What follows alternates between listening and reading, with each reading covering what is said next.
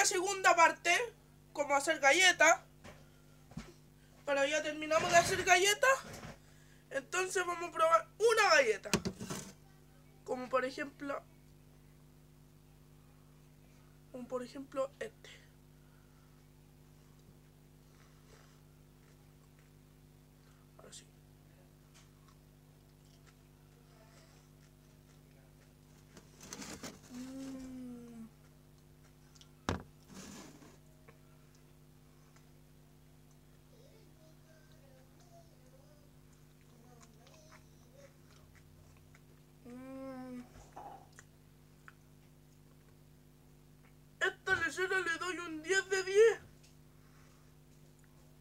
20 de 10 porque me gustó más.